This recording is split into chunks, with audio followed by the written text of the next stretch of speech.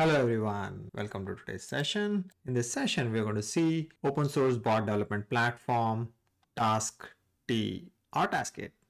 So let's try and understand what is Taskit. Taskit is an open source, no code, low code solution and it's built on top of .NET framework. Most of the open source RP tools are developed on top of Python or Java. We don't have a lot of tools which are built or powered by .NET, open source tools.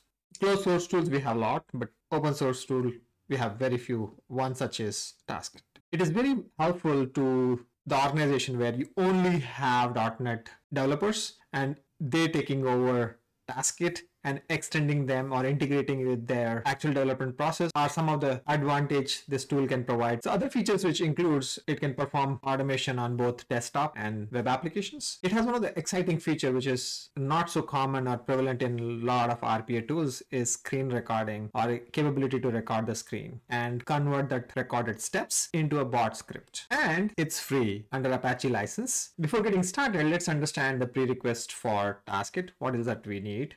So TaskIt requires an operating system which is predominantly Windows because it's powered by .NET and it needs a JVM JDK for some other components. The system spec rec or recommended by TaskIt is Windows 10 and above, Server 2012 or 2016 or Server 2019 with a mere 4 GB RAM.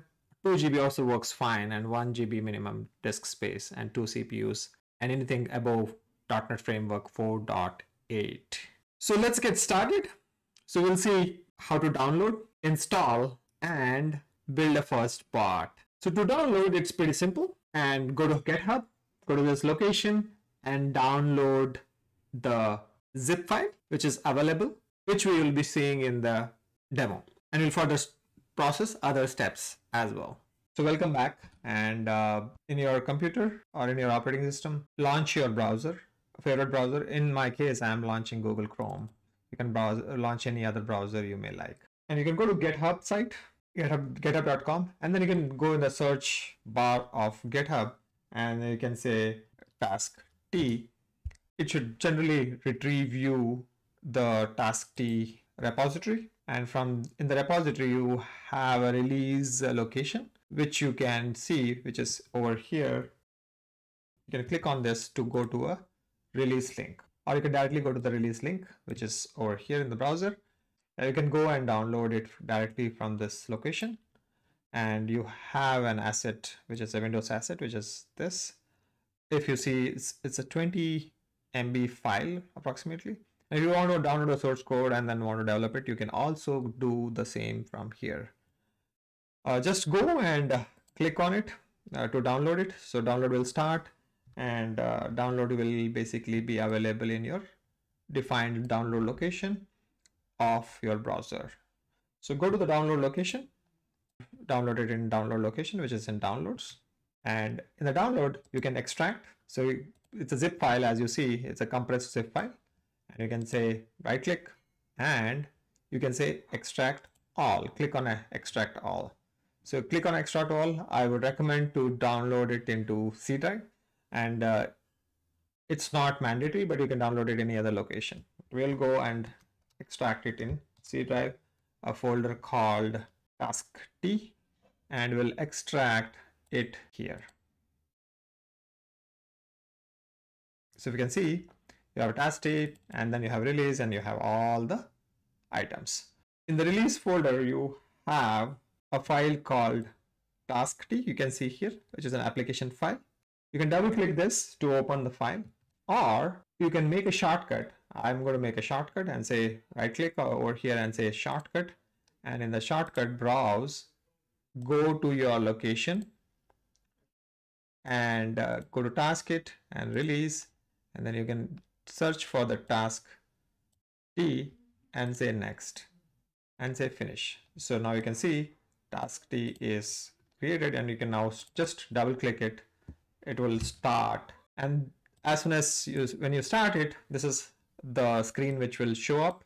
The screen contains a lot of uh, tools which you have or actions which you can use.